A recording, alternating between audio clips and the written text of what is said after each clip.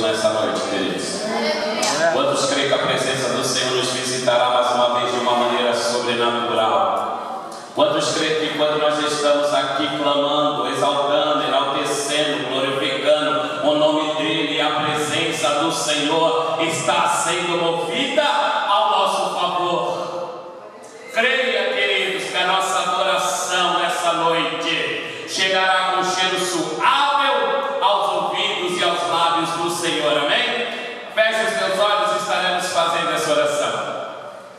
So then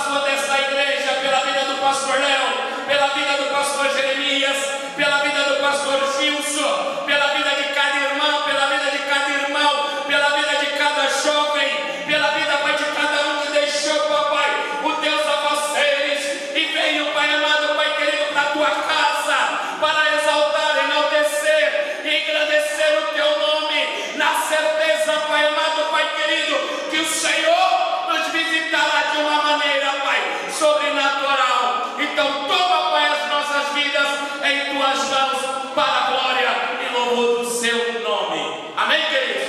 Dê uma vida salva de palmas para o Senhor. Vamos fazer um culto alegre para o Senhor.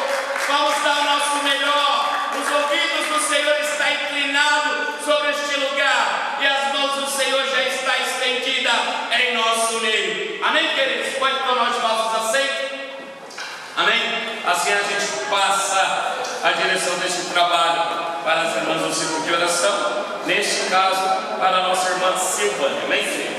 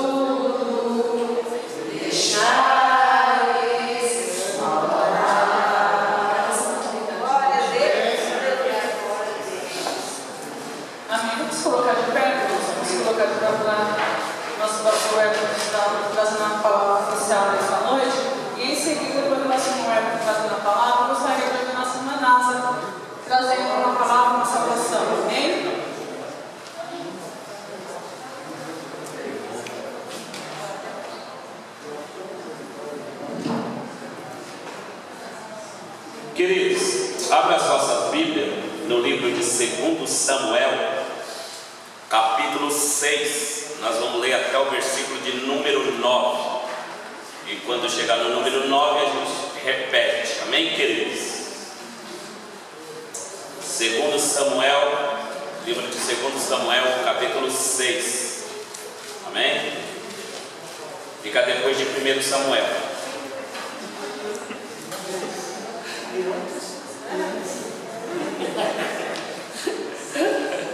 Amém, queridos? Olha os irmãos aqui querendo me pegar. Amém, queridos? Não é, Humberto? Tá certo? Amém, Humberto. Amém? E diz: Davi traz a arca para Jerusalém. Amém, queridos?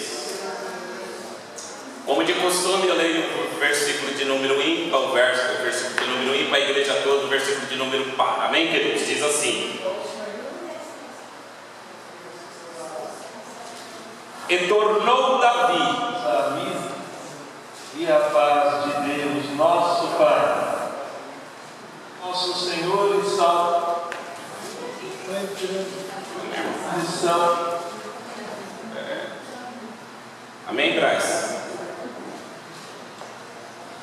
E tornou Davi a ajuntar todos os escolhidos de Israel em número de 30 mil. E levantou-se Davi e partiu com todo o povo que tinha consigo de Bará Judá, para levarem dali para cima a arca de Deus, sobre a qual se invoca o nome, o nome do Senhor dos Exércitos, que se assenta entre os querubins. E puseram a arca de Deus em carro novo e levaram da casa de Abinadab, que está em Gibeá, e Uzá e Aiô, filhos de Abinadab, guiavam o carro novo.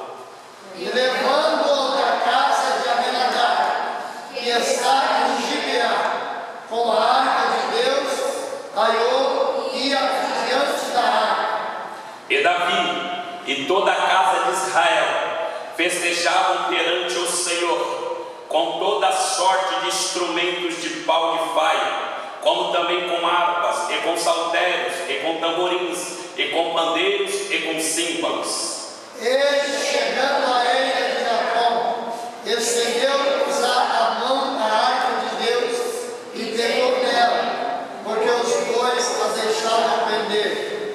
Então a ira do Senhor se acendeu contra Uzá, e Deus oferiu ali por estar imprudente. E Deus oferiu ali por esta imprudência, e morreu ali junto à arca de Deus. E Davi se conquistou, porque o Senhor abrira rotura em Uzá, e chamou aquele lugar Pérez Uzá, até o dia de hoje.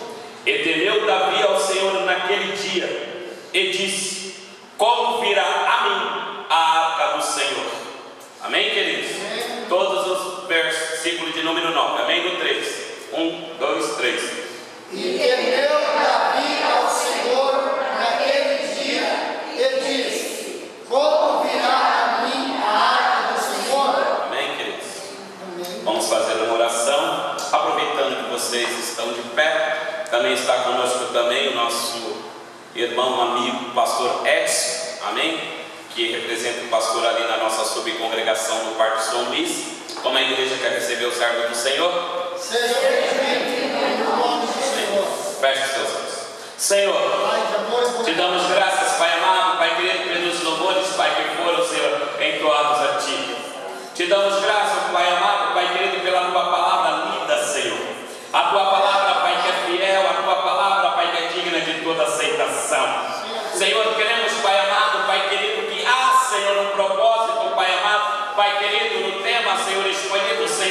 para estas quatro quinta-feiras. Então, ó Pai amado,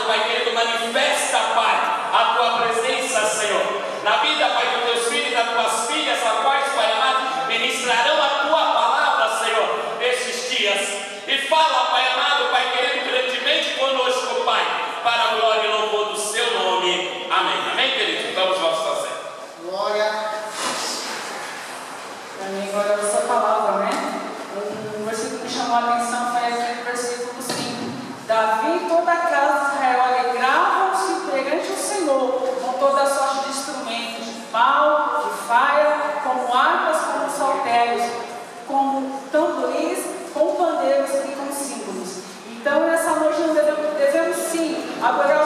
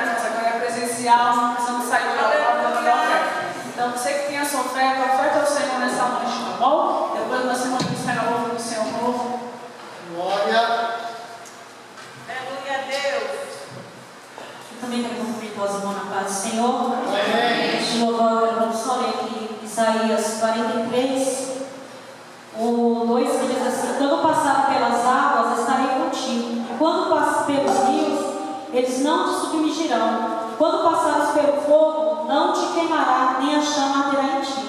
Porque eu sou o Senhor teu Deus, o Santo de Israel. O teu teu resgate e a Etiópia e a Seba em teu, em teu lugar. Amém, Deus? Essa palavra para a meditação dos amados.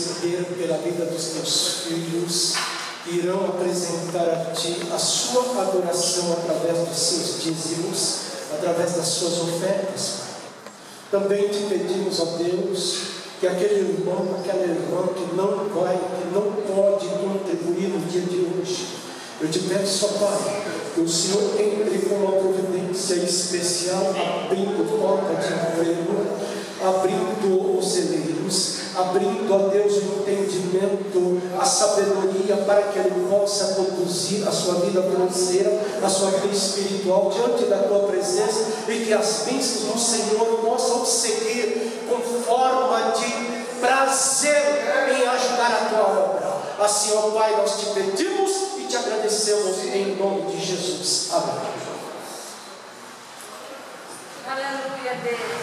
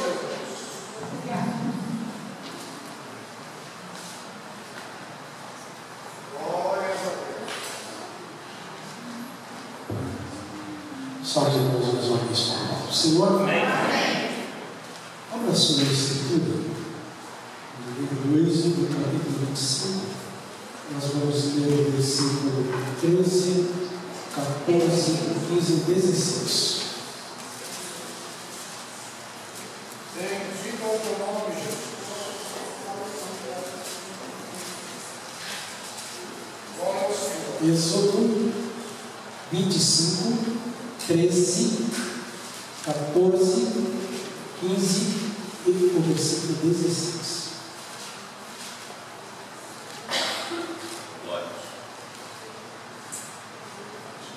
Eu estarei lendo os irmãos acompanham. Amém? Diz-nos a palavra de Deus.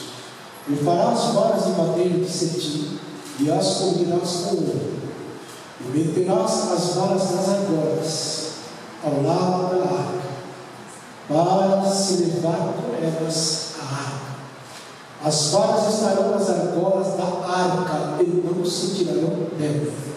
Depois porás na arca o testemunho que eu te darei. Amém, meus irmãos? Olha para nós os nossos conceitos. Você tem a liberdade de glorificar o nome eterno, porque este lugar não é outro, senão a casa do próprio Deus. Meus irmãos, eu quero agradecer primeiramente ao eterno Deus pela oportunidade que eu tenho em poder fazer uso desta tribuna e falar da palavra de Deus. Agradecer a irmã Silvana e nos deu essa responsabilidade, né? E agradecer a Deus em primeiro plano pela minha salvação.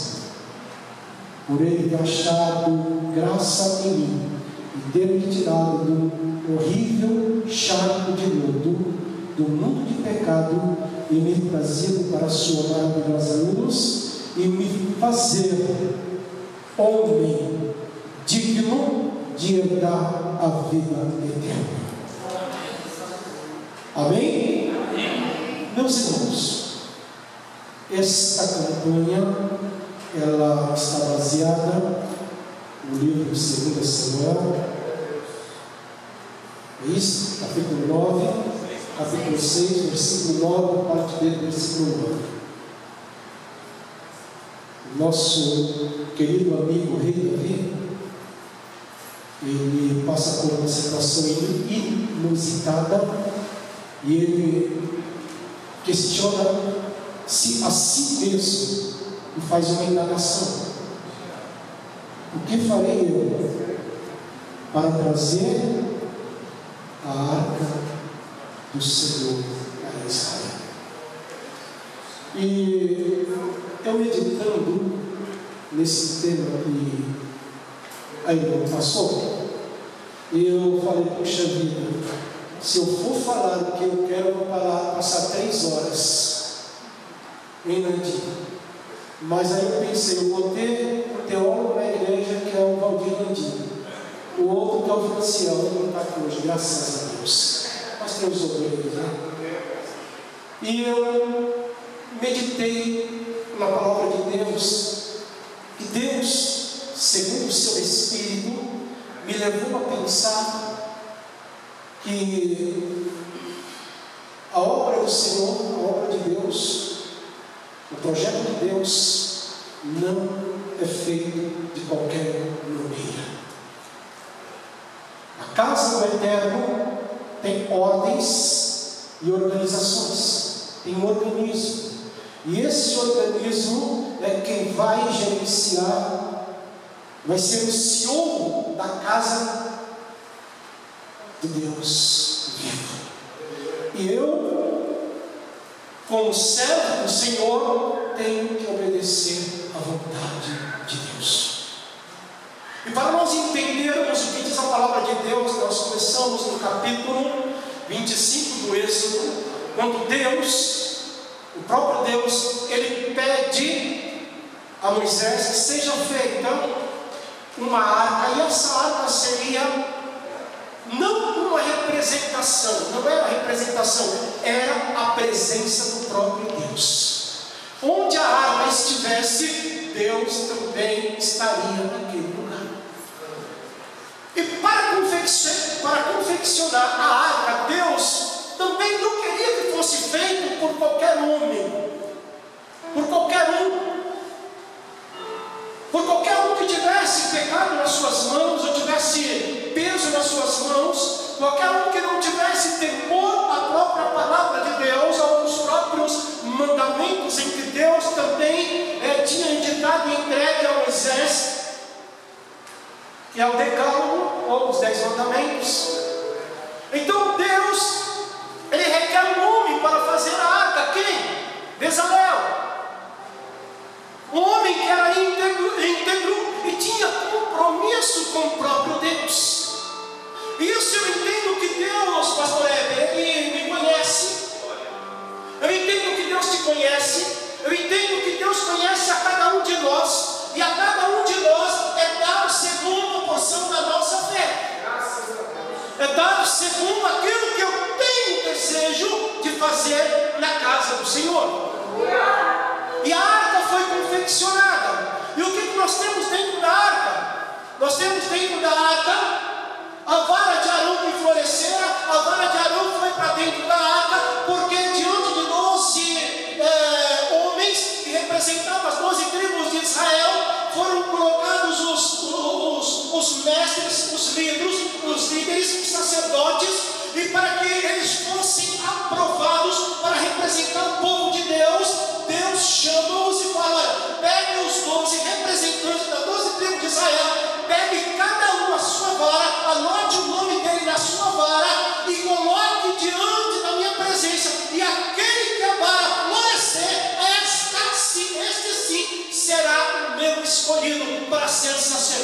em Israel, diante do meu povo. E foi colocado as doze varas com os doze nomes. Quem floresceu?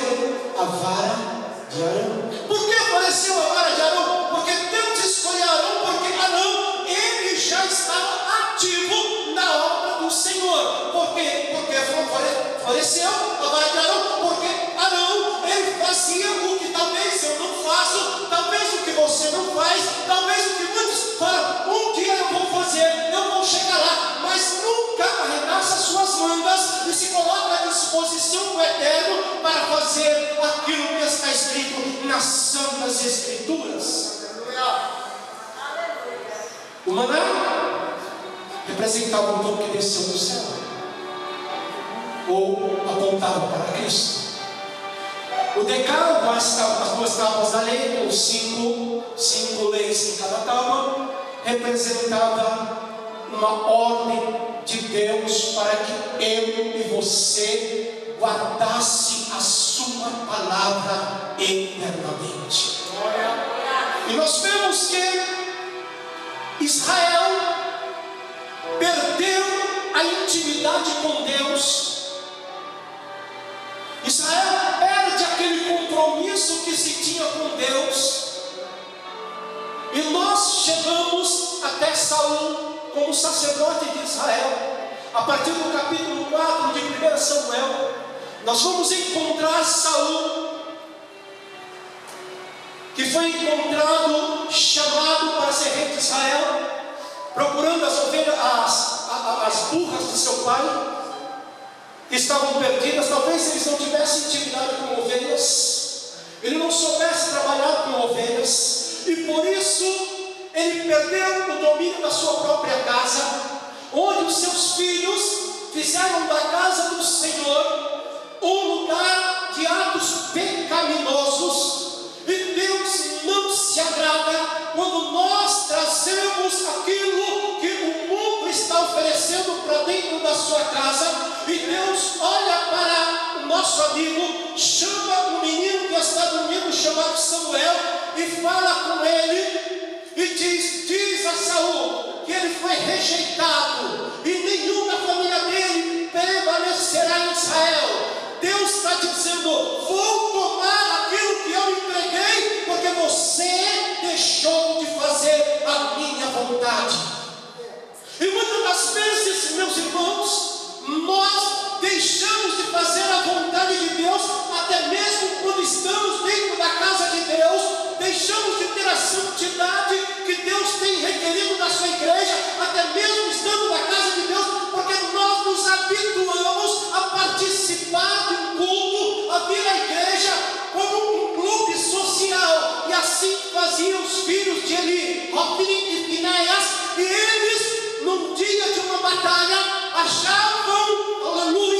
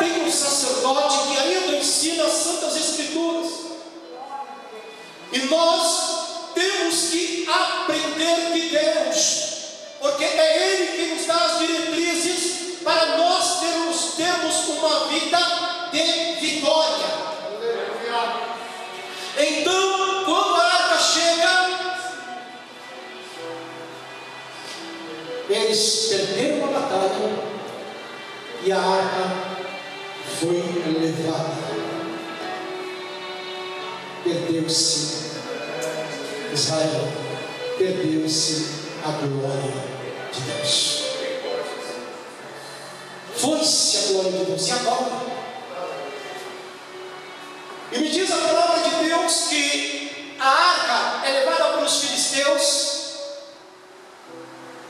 e colocado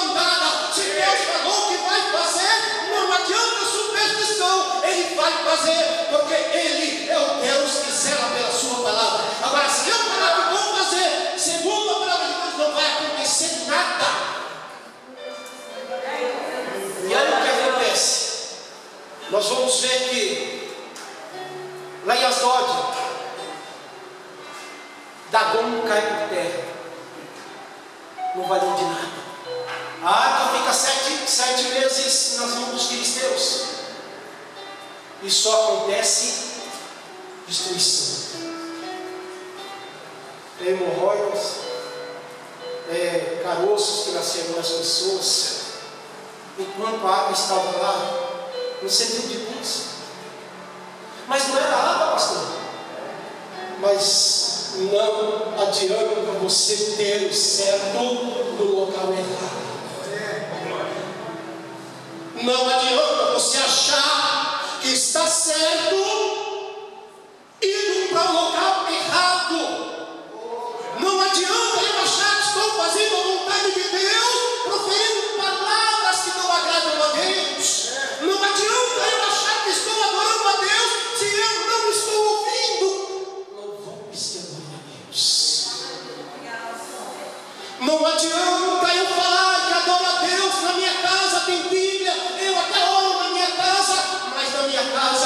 programações elas não agradam a Deus.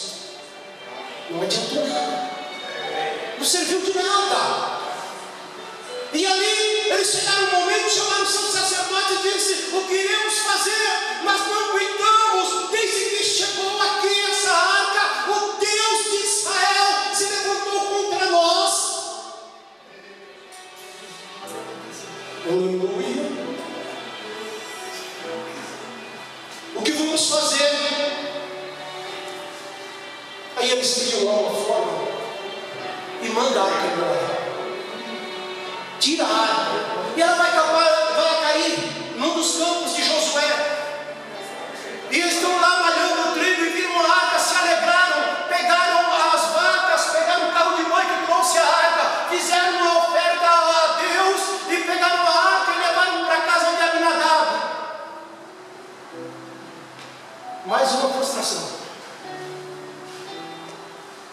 chega na casa de Abinadab.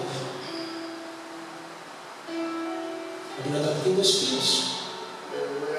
E a Bíblia não fala mais nada sobre ele. Só fala que tem dois filhos. E esses dois filhos, eles se acostumaram com a água de tal modo que não tinham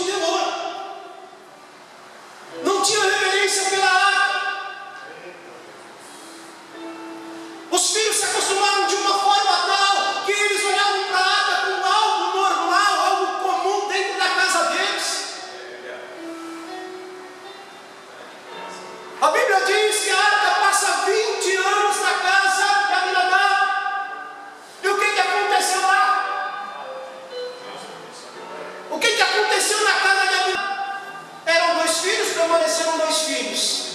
Nem da esposa dele a Bíblia fala. Não fala que ele tinha animais, que ele, tinha, ele era príncipe, né? Abinadab era príncipe.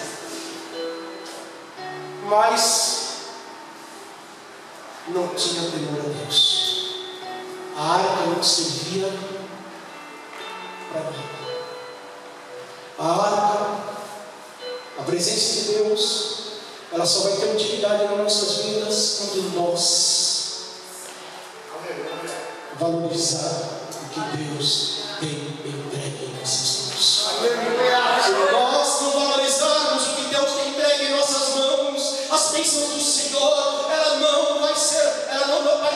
aparentemente não vai ser nada. Ao invés de trazer alegria, vai trazer frustrações, porque nós não valorizamos aquilo que Deus tem dado. Mas quando nós valorizamos aquilo que Deus tem dado, as coisas vão mudar, as coisas vão é, acabar preocupando a gente com o que está acontecendo aos nossos lados, e aquilo estava preocupando a Davi. O rei Davi estava preocupando o rei Davi lá em Israel. O rei Davi, ele começou a pensar e começou a ver que estava faltando algo em Israel, porque a chama, a, a chama da salvação, a chama do poder de Deus, a chama da glória de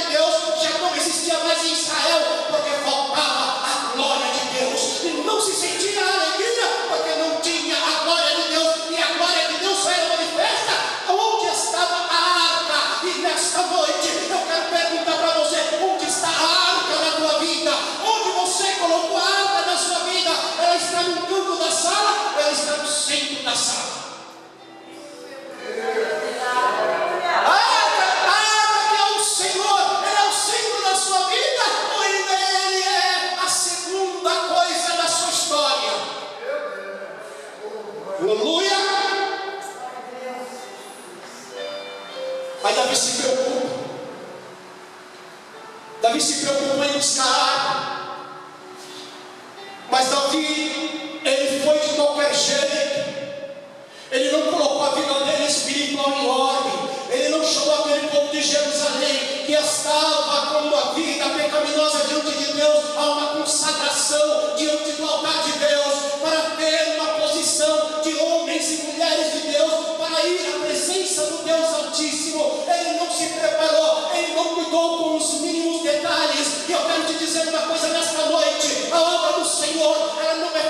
qualquer jeito. A obra do Senhor, ela tem ordenanças e tem que ser cumprida. E quando Deus fala para que nós venhamos fazer assim, devemos fazer do jeito que Deus falou. Porque quando nós ouvimos a voz de Deus, é porque somos obedientes àquilo que Deus tem determinado em nossas vidas.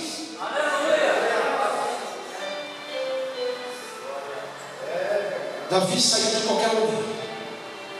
Só pegou o número de mais ou menos 30 mil pessoas, incluindo os seus exércitos, sacerdotes,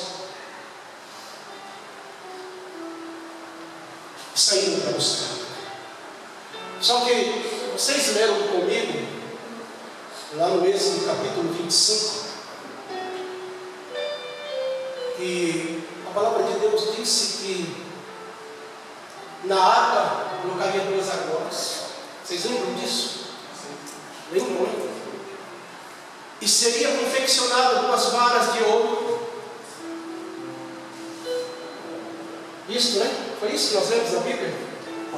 E teria que ser transportada no. De qualquer um? É de qualquer um. É só de quem tem fibra. É só de quem tem coragem. Coragem para uma santificação diante de Deus. Que tem coragem para ser obediente, porque obediência não é para qualquer um. É quem tem compromisso com Deus. Ser obediente ao sacerdote, quando o sacerdote diz: Nós vamos fazer assim, baixar a cabeça e fazer assim, como o sacerdote falou. Não sair pelos cantos dizendo desse jeito não dá certo, assim não vai, não é assim que eu quero, não é, não, não é para mim, não é para mim. Eu quero te dizer uma coisa: se não é para você, você precisa voltar a ver onde a arca ficou na sua. E eles chegaram lá e foram pegar a arca. Fizeram o carro de boi novo. Foi isso que fizeram? pegaram dois bois árvores, bois os bois que nunca trabalharam, não é do serviço, achando que estava agradando a nem tudo que eu faço está agradando a Deus.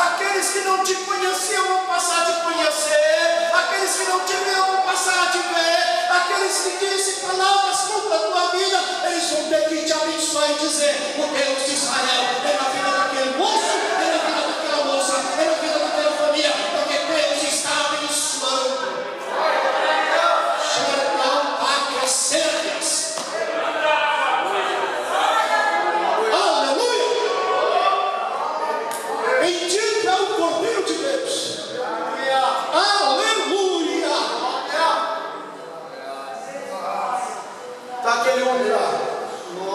Obed-Edom. Quem é Obed-Edom? Ninguém.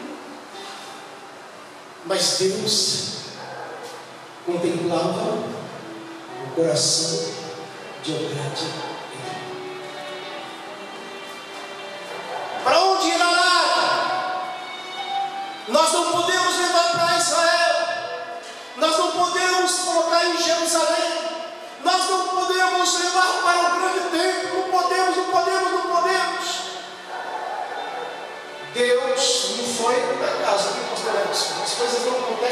Acaso, mas é a direção de Deus. Aleluia.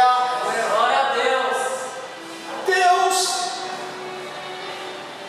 que contemplava Obed-Edom, sabia da integridade de Obed-Edom, sabia das necessidades de Obed-Edom, disse: tem algumas cargas fora? Tem. Pode voltar para a casa de Abinadab? Pode voltar, porque estava próximo. Estava próximo. Poderiam voltar para casa de Abinadab? Deus falou: não. Não está na Bíblia, tá? Isso é uma conjectura minha. Deus falou: não, não volta para casa de ninguém. Eu quero a minha arca na casa de quem vai valorizar. Eu quero a minha arca na casa de quem vai dar valor à minha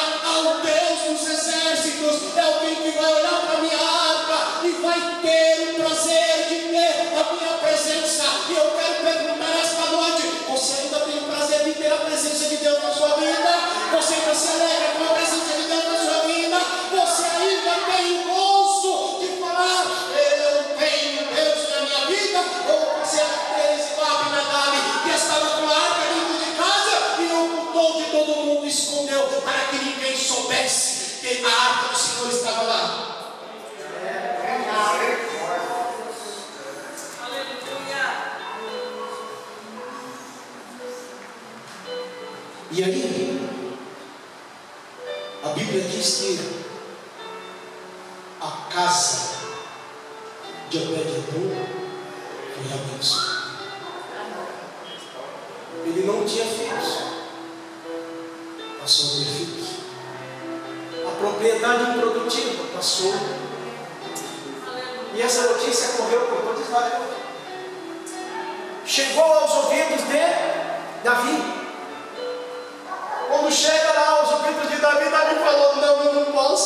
Deixar a arca fora de Jerusalém. Eu não posso deixar a arca, não, porque ele está sendo abençoado. Eu também quero a bênção de Deus na minha vida.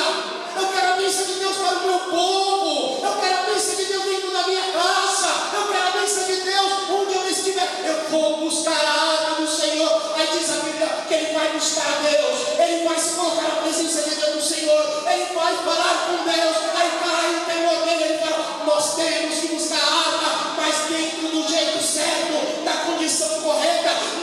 qualquer jeito que nós vamos buscar a não. Eu quero te falar uma coisa nesta noite. Se você está esperando algo da parte de Deus, não é de qualquer jeito que Deus vai nos abençoar. Nós temos que ter uma vida contrita para com Deus, para que as bênçãos do Senhor elas venham nos seguir. Obed-Edom.